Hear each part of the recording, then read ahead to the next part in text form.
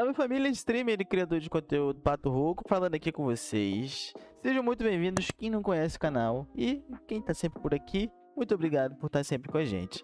Família, hoje a gente vai trazer um vídeo bem diferente aqui, algo que eu sempre quis fazer, só que eu nunca tive, na verdade, não sei se foi tempo, se foi vergonha na cara, e eu peguei pra fazer, tudo bem? Então, vamos falar um pouquinho sobre a lore do Valorant, que é um jogo que eu jogo bastante e, cara, todos os jogos, todos os FPS, todos os jogos que você joga tem uma lore, por mais que você não saiba.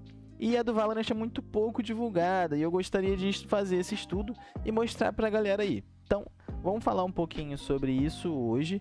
E se você tá chegando aí, se inscreve, acompanha a gente, dá aquele like para ajudar esse vídeo a chegar a mais pessoas e ajudar no crescimento do canal. Não te custa nada e me ajuda muito. Então, vamos lá. Provavelmente eu vou olhar um pouco pro lado, porque para ver o meu texto aqui, tudo bem? Então, vamos lá. Eu não vou fazer muitos cortes nesse vídeo. Vamos ver como é que vai ficar isso daqui.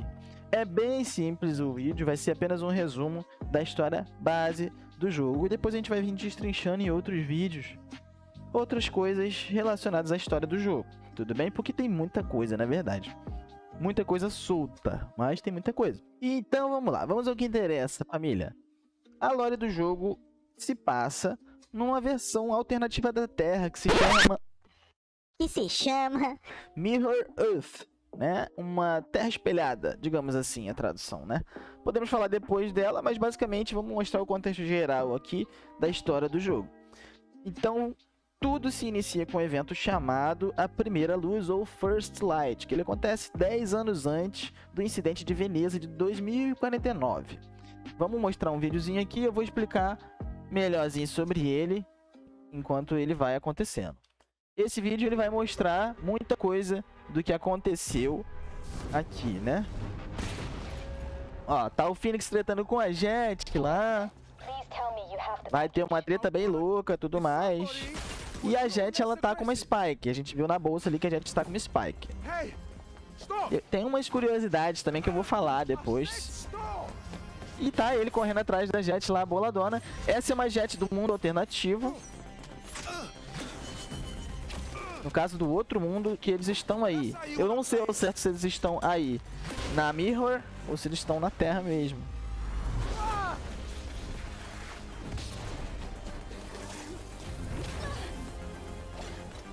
Eles vão tretar, a Phoenix vai dar aquele tiro e vai pegar a Spike dela.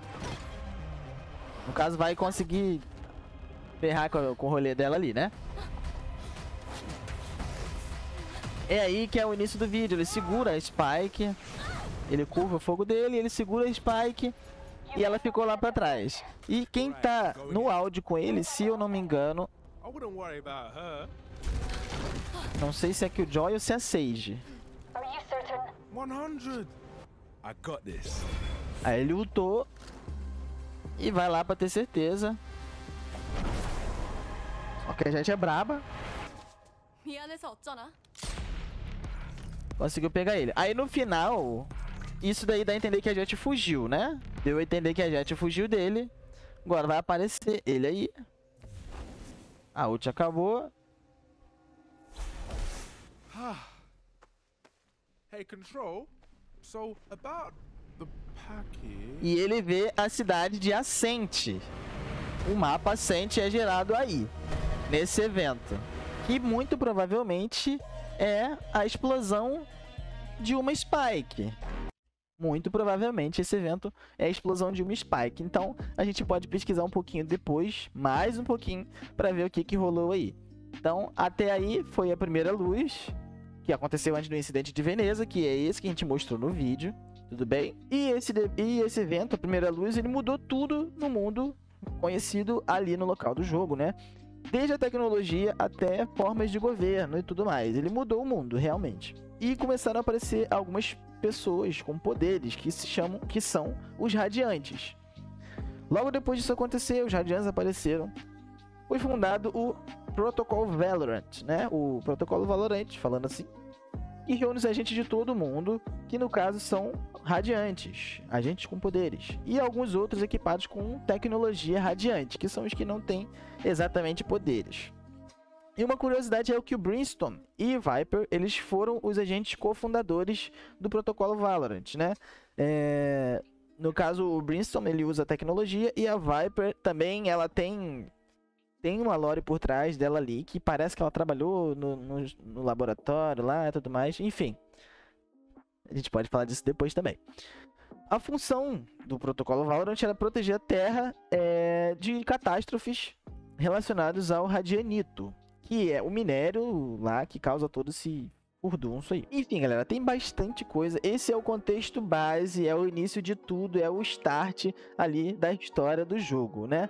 Mas tem muito mais coisa. O problema é, é tudo ponta solta. A gente tem que pesquisar muito para entender essa lore e tentar explicar alguma coisa aqui. Eu precisava lançar esse vídeo para eu iniciar com essa com esse quadro aqui no canal. Eu tava um tempo procurando um tipo de conteúdo assim, precisava iniciar com isso.